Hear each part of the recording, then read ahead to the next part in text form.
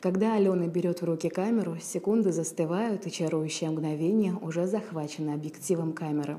И это не просто коммерческое увлечение. Фотография, как хранитель истории, всегда присутствовала в жизни девушки. Я не пришла к фотографии. Фотография идет по жизни рядом со мной. Мой дедушка любил фотографировать. Вот. У нас, э, у моих родителей, у родителей моих родителей у каждого есть свой семейный фотоальбом с фотографиями, где они от младенчества и вот до этих лет. Мой папа любит фотографировать. Он в свое время в университете был лучшим фотографом. Он пытался меня учить снимать на свой зенит. Мы вместе занимались проявкой его фотографий красной комнате часами. Но на тот момент я, наверное, психологически не созрела, чтобы понять, что фото — это вот прям мое. Ценность отцовских наставлений Алена осознала не сразу. Множество увлечений проходило через жизнь девушки, поэтапно оказывая влияние на творческое становление будущей фотографини. Однако снимать она не прекращала, и как сегодня с умилением вспоминает свой первый фотоаппарат. Мой первый личный фотоаппарат — это пленочный «Олимпус». Мне его подарил папа, когда я закончила школу. Вот.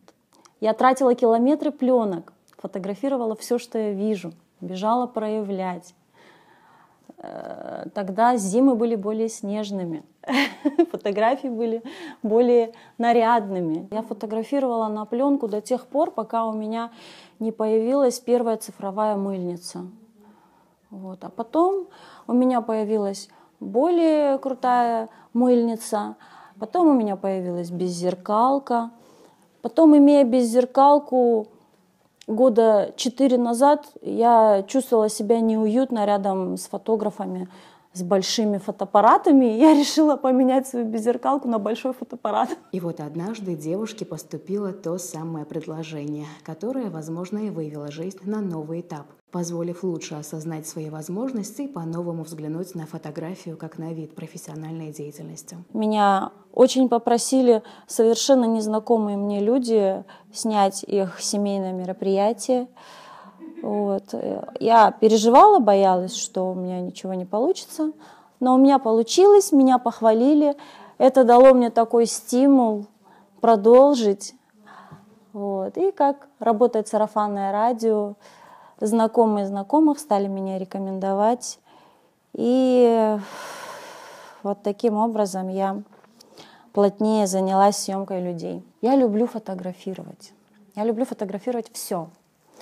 Город, людей, детей, животных еду. Я очень люблю фотографировать еду. Сегодня Алена уверенный пользователь фотоагрегата. Выездные постановочные фотосессии, свадебные съемки – всегда и везде прекрасные кадры находятся под чутким наблюдением фотоохотницы. Но главная цель – эмоции, неподдельные, живые и вдохновляющие, признается фотографиня. Я люблю фотографировать семьи, их эмоции, поколения, матерей, дедушек, бабушек, детишек. Вот это мне ближе. И чем студийную съемку я предпочитаю на улицах, в парках, в горах, на море. Творчество не статичное, и человек, посвятивший себя искусству, неустанно растет и развивается. Такая динамика нередко сводит между собой единомышленников, в очередной раз вдохновляя и позволяя разглядеть новые грани фотоискусства. Иногда мы собираемся просто, чтобы выпить чашку кофе, отдохнуть от заказов, посмотреть друг на друга. У меня такой круг общения, что девочки, с которыми я близко общаюсь, фотографы, они из разных городов. Э, для нас целое событие собраться вместе, там 10 человек из 10 разных мест – вот так собраться, посидеть, это очень-очень приятно. Иногда даже думаешь, может быть, я ничего нового не узнаю, ну что я могу еще нового узнать? Идешь за вдохновением, за каким-то творческим пинком. Ты слушаешь человека, который приехал с другого края, у него свое видение, свой взгляд. Ты приходишь домой, начинаешь переосмысливать э, услышанное, начинаешь по-другому смотреть на фотографию, у тебя немножко корректируется подход к фото, к клиентам, к фотоаппарату. Это, это полезно, это нужно. Сколько бы ни было съемок, но каждая фотосессия всегда волнительна, как первый день в школе. Новые герои, новые задачи и новые возможности. Каждое фото проходит критический анализ, но свои самые лучшие кадры я делаю во сне, делится Алена. Бывают фотосессии более рядовые, бывают более ответственные. Если что-то для меня в новинку первый раз, я, честно говоря, плохо сплю. Перед этим днем мне во сне снится, как я фотографирую, как у меня не получается, как у меня ломается фотоаппарат. Страшный сон фотографа, никому не пожелаю. Вы знаете, что такое шум на фотографиях? Наверняка знают все вот эти белые мухи. По идее, шум фотографии не портит, если эта фотография имеет какую-то задумку, несет какой-то смысл, то шум большой роли не играет. В общем, мне приснилось что на моих фотографиях есть золотой шум. И я пошла их распечатала. И у меня фотографии с золотым шумом. Я бы хотела очень в реальности такие фотки в руках подержать.